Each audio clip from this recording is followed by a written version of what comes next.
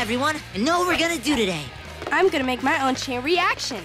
I'm Brianna. I've been watching my favorite episode of Phineas and Ferb over and over again. We're gonna build the world's biggest bowling ball game. And I got the idea for my own bowling alley chain reaction. Not bad. First, I went to disneyxd.com slash chain and downloaded these cutouts. Then I got the ball rolling. First, Candace'll roll across the room taped to this ball. She released Perry on a rope. Phineas has a cool tape measure car, and Ferb's got this rad ride. Agreed. And Doof will get plowed with the pins.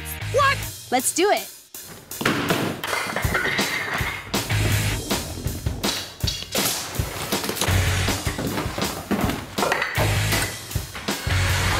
Wait for it.